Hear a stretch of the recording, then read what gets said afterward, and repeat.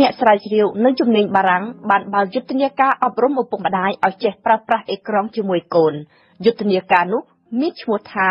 3 6 9និង12លេខទាំង4នេះគឺជាចំណុចគោលសម្គាល់អាយុរបស់កុមារដែលអាចចាប់ផ្ដើមមើលអេក្រង់បានហាមមើលទូរទស្សន៍មុនអាយុ3ឆ្នាំនៅក្រោមអាយុ3ឆ្នាំក្មេងត្រូវការរៀនកំណត់ឲ្យស្គាល់អ្វីជាទីតាំង និងបន្ទាប់មកអ្វីជាពេលវេលា ដើម្បីបានស្គាល់កន្លែងក្មេងត្រូវការស្ថាបនាខ្លួនតាមរយៈការទៅមើលឃើញទីតាំងបរិស្ថានពិតពិត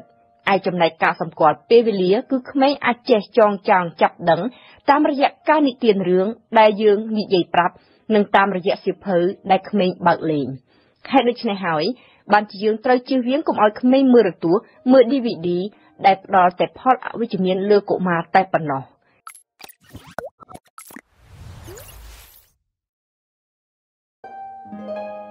tablet ក៏ត្រូវមានឋានៈស្មើនឹងវត្ថុឬក៏ល្បែងលេងបែបបុរាណផ្សេងផ្សេងទៀតដែរនិងត្រូវឲ្យមានមនុស្សធំនៅអមលេងជាមួយជានិច្ចដើម្បីបង្កើនផលប្រយោជន៍អំពីការលេងមិនមែនដាក់ឲ្យអង្គុយមើលនៅស្ងៀមនោះឡើយហាមលេងហ្គេមមុនអាយុ6ឆ្នាំនៅអាយុ6ឆ្នាំជៀសវាងកុំដាក់ទូរទស្សន៍និងកុំព្យូទ័រនៅក្នុងបន្ទប់គេងរបស់កូនកំណត់ពេលម៉ោងលេងនៅមុខអេក្រង់និងធ្វើការជ្រើសរើសមើលកម្មវិធីទូរទស្សន៍ទៅតាមវ័យ។ ក្នុងករណីអ្នកធូធាចង់ផ្ដល់ឱកាសឲ្យកូនបានលេងរបស់ទំនើប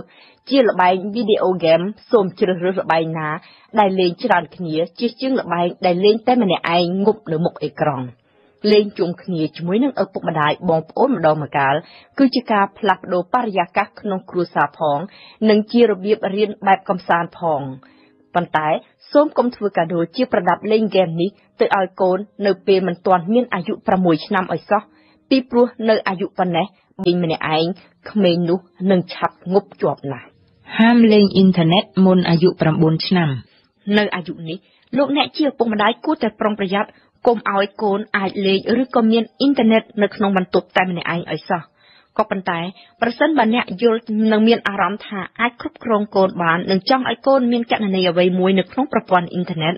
លោកអ្នកត្រូវចេះបញ្យល់និងប្រាប់កូនឲ្យបានយល់អំពីសិទ្ធិនៃការប្រើប្រាស់អ៊ីនធឺណិតទៅលើការប្រើប្រាស់រូបភាពដោយគុំយករូបគេមកប្រើផ្ដេសផ្ដាស់និងជាពិសេសសិទ្ធិឯកជនពលគឺគុំបង្ហាញរូបខ្លួនឯងតាមតែទំនឹងចិត្តឲ្យសោះហាមលេងប្រព័ន្ធសង្គមមុនអាយុ12ឆ្នាំអាយុ12ឆ្នាំក្មេងអាចចាប់ផ្ដើមចូលលេងប្រព័ន្ធសង្គមបាន។ ក៏ប៉ុន្តែនៅមុននេះអ្នកជាឪពុកម្ដាយគួរតែបន្តរក្សាវិន័យតឹងតែងដដែលតាក់ទងនឹងពេលម៉ោងនៅមុខអេក្រង់កំណត់ពិចារណាជាមួយកូនរបស់អ្នកដោយផ្ទាល់អំពីភាពចាំបាច់និងអំពីប្រយោជន៍នៃការប្រើប្រាស់ទូរស័ព្ទដៃរំលឹកប្រាប់កូនជាញឹកញយអំពីវិធានការ3យ៉ាងតាក់ទងទៅនឹងការប្រើប្រាស់អ៊ីនធឺណិតអ្វីដែលយើងត្រូវបង្ហោះអាចคล้ายទៅជារបស់សាធារណៈ នរណាក៏មើលបាន អ្វីដែលយើងបង្ហោះនឹងនៅក្នុងប្រព័ន្ធនោះជារៀងរហូតមិនអាចលុបបំបាត់ទេ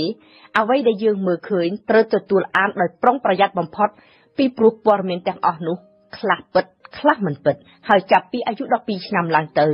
ក្មេងអាចប្រើឬក៏លេងអ៊ីនធឺណិតតែម្នាក់ឯងបានក៏ប៉ុន្តែការត្រួតពិនិត្យនិងកំណត់ពេលវេលាលេងនៅតែចាំបាច់ដដែល ជៀសវាងកុំភ្ជាប់អ៊ីនធឺណិតជាប់ទាំងយប់ទាំងថ្ងៃនៅក្នុងបន្ទប់គេងកូន ដែលជាបុព្វហេតុនាំឲ្យកូនគេងមិនគ្រប់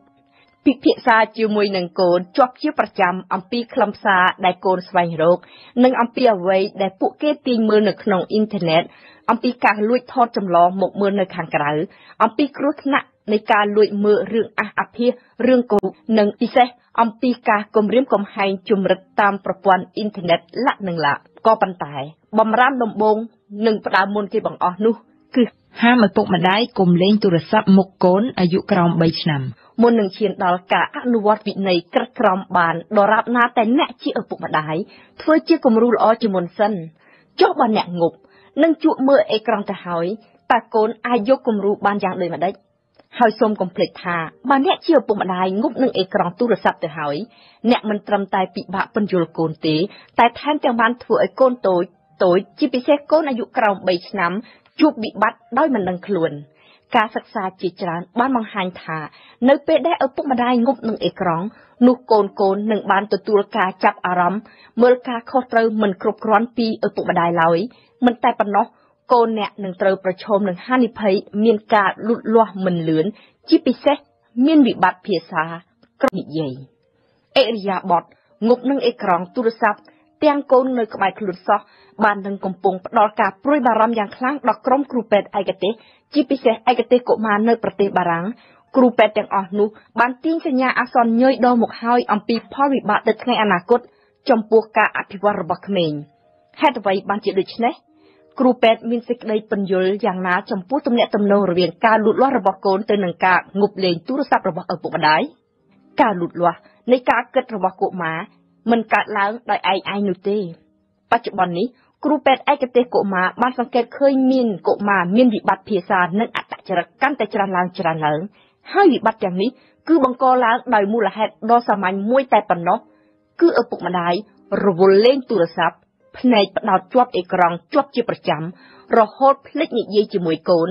ពលគឺនិយាយដែរតែមិនគ្រប់គ្រាន់តែអ្នកជាឪពុកម្ដាយវិញបែរជាមើលឃើញថាមិននិយាយមានការលូតលាស់មិនឆាប់រហ័សដោយកូនគេក៏ប៉ុន្តែតាមការពិតទៅក្មេងនោះមានវិបត្តិភាសាតែប៉ុណ្ណោះខួរក្បាលរបស់គេមិនបានរៀនមិនបានថប់ភ្ជាប់រៀបចំការគិតទៅនឹងការនិយាយស្ដីទង្វើរបស់ឪពុកម្ដាយនេះ អាចនឹងរុញច្រានកូនឲ្យធ្លាក់ក្នុងវិបត្តិកាន់តែធ្ងន់ធ្ងររហូតកូនមានអាការៈដោយកើតជំងឺអូទីសม์កូនអាយុជាមួយខួបហើយមិនចេះឆ្លើយមិនងាកនៅពេលគេហៅចំឈ្មោះមិនមើលអ្នកដែលនិយាយជាមួយគេ ហើយបើបណ្ដោយកូននោះនឹងអាចចូលរៀនសាលាជាមួយគេមិនបានឡើយនៅថ្ងៃអនាគតសម្រាប់ក្រុមគ្រូពេទ្យបារាំងបើឪពុកម្ដាយបោះបង់ទូរស័ព្ទដៃភ្លាម កូននោះនឹងមានការលូតលាស់ចេះដឹងយ៉ាងប្រសើរឡើងដោយភ្លាមភ្លាមតែម្ដង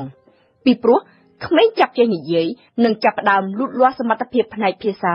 នៅអាយុក្រោមមួយខួបបាន ក្នុងករណីណាតែឪពុកម្ដាយនិយាយច្រើនជាមួយកូននោះ នៅពេលឪពុកម្ដាយបាននិយាយច្រើនជាមួយកូនទារកឬក៏កូនតូចនោះនឹងថត់ទុកនៅសម្លេងនិងពាក្យពេចន៍របស់ម្ដាយឪពុកដែលជាគ្រឿងស្តុកដូច្នេះបើកូនមានភាពយឺតយ៉ាវផ្នែកនិយាយស្ដី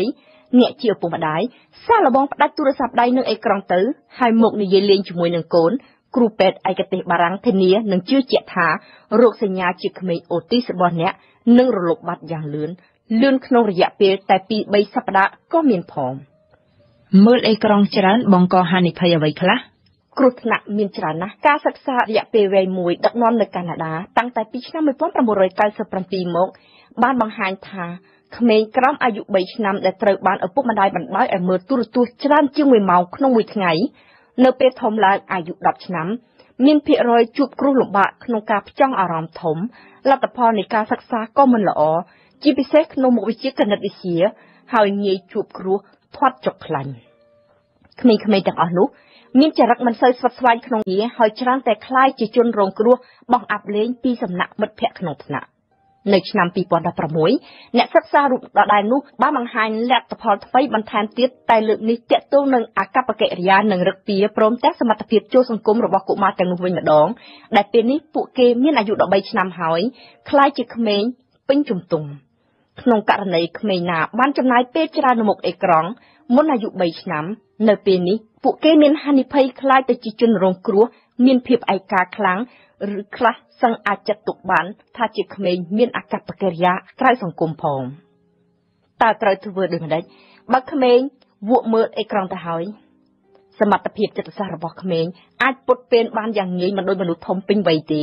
ដូច្នេះអ្វីអ្វីក៏អាចបដូរផ្លាស់បានដែរសម្រាប់កុមារសូមអ្នកជាឪពុកម្ដាយកុំរួញរានិងបដូរវិន័យនិងប្រើអំណាចផ្លាស់ប្ដូរទម្លាប់ចាស់ ដើម្បីរើសអ្វីដែលជាការថ្មីនិងប្រសើរឡើងក៏ប៉ុន្តែសូមកុំផ្លាស់ប្ដូរទម្លាប់និងវិន័យតាមបែបកំហឹងនិងកំហល់ឲ្យសោះ។